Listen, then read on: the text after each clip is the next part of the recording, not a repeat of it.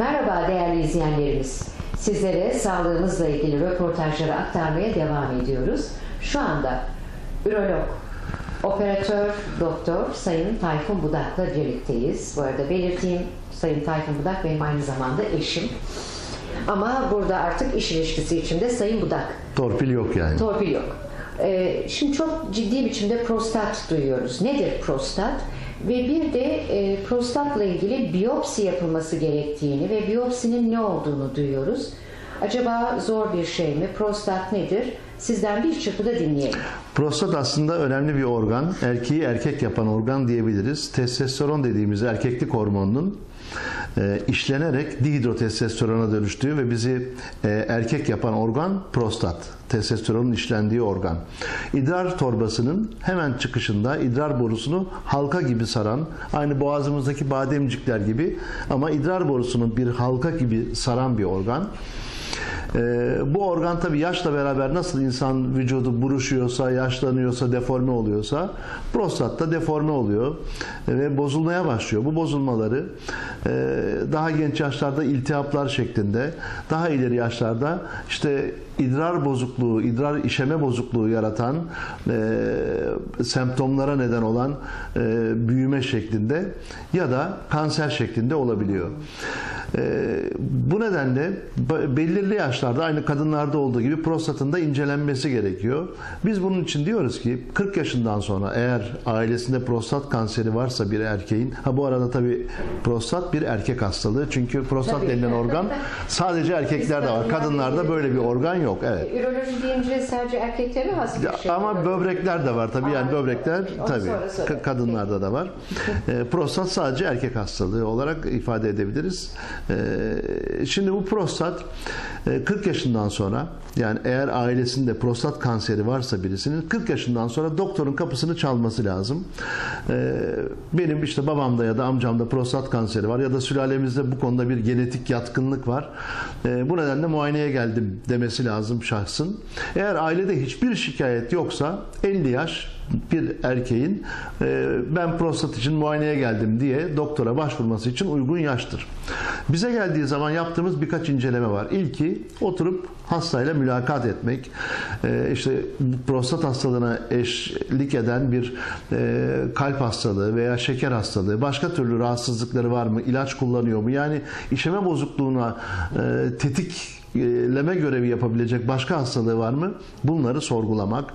E, gecede kaç kere idrara kalkıyor? Gündüz 2 saatten sık mı gidiyor? Çatallanma var mı? Damlatma var mı? Kekeme idrar mı yapıyor? Bütün bunları sormak ve kayda almak. İlk yaptığımız iş budur. Ondan sonra hastayı hemen laboratuvara yollarız. PSA dediğimiz bir kan tahlili yaptırmak üzere. PSA e, prostat kanserinde yükselen e, bir e, tahlildir. Detayını çok anlatmak istemiyorum çünkü çok tıbbi terimlere Tabii, tabii. boğ- boğmak istemiyorum anda kimseyi. PSA diye bir tahlilimiz var olduğunu bilmesi yeterli izleyenlerin. E, PSA'nın sonucuna baktıktan sonra hastanın ultrasonografi raporunu tabii bir ultrasonografi de yaptırıyoruz ki böbrekleri ne alemde, idrar yolları ne alemde, mesanesi ne alemde ve prostatı ne büyüklükte bu ultrasonografi ile ortaya çıkıyor. Ve idrar yaptıktan sonra kalan idrar miktarını da gene aynı ultrason raporuyla değerlendiriyoruz. Ve bir işeme hızı ölçme testimiz var. Üroflometri bunu yapıyoruz. En son 5 numara 5 e, testimiz ise parmakla prostatın muayenesi. Rektumdan ya anüs yoluyla hastanın prostatına dokunuyoruz. Prostat e, anüs yoluyla muayene edildiğinde birkaç santim içeride bir organ hemen parmağımızın ucuna gelir. Ee, kanseri adeta bir taş gibi vursanız, fiske vursanız tak tak ses çıkartacak kadar serttir. Her PSA yüksekliği e, kansere dalalet etmez. Bazı PSA yüksekliklerinde kanser çıkmayabilir. E, ama e, çok düşük PSA'larda kanser de olabilir. Bu nedenle bu parmak muayenesi çok önemli. E, bütün bu 5 incelemeyi de yaptıktan sonra bir kanaatimiz oluşur. Bu kanaatimiz bu hastada kanser olabileceği yönünde ise yani PSA'da yükseklik var ya da yok ama parmağımıza bir sertlik geldi. E, eğer böyle bir durumla karşı karşıyaysak hastayı son birkaç senedir e, e, aslında ürolojinin e, ilgi alanına giren ve çok önemli olan bir incelemeye yolluyoruz radyolojiye. Multiparametrik prostat MR incelemesi diyoruz buna. Multiparametrik prostat MR'ı e, gerçekten biyopsi yapmamız gerekir mi gerekmez mi? Prostatı çok daha detaylı inceleyen bir e, görüntüleme metodu. Eğer multiparametrik prostat MR'ında e, prostat organının içinde işaretlenmiş evet burada şüphe var buradan biyopsi alınmalı diye bir kanaat geldiyse onun da e, 505 kademe derecelendirme usulü var. Gene bu teknik detayla kimseyi boğmak istemem. Eğer biyopsi yapmak gerekir derse, denirse o zaman füzyon biyopsi dediğimiz bir e, metot devreye giriyor. Füzyon biyopsi nedir? Füzyon biyopsi aslında geleneksel biyopsiden çok fazla farkı yok.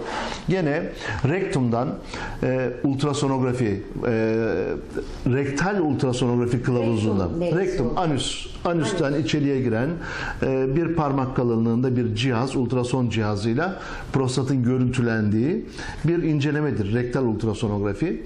E, bu rektal ultrasonografi kılavuzunda yapılan bir biyopsidir, füzyon biyopside. Fakat farkı nedir geleneksel biyopsiden?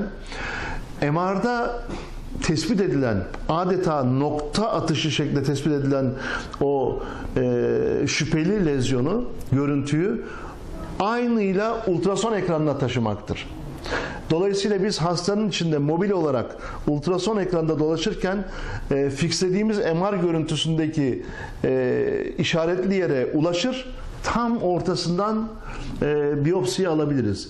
Böylelikle e, biyopside yanılma payı neredeyse sıfıra kadar inmiş olur ve tanı koyma şansı da %100 artmış olur. E, füzyon biyopsi aslında e, basitçe geleneksel biyopsiye çok benzediği için e, işlem itibariyle Evet. teknik bo- boyutu haricinde işlem itibariyle rektal ultrason ve tek doktor tarafından yapılması açısından ofis ortamında bile yapılabilecek bir şeydir.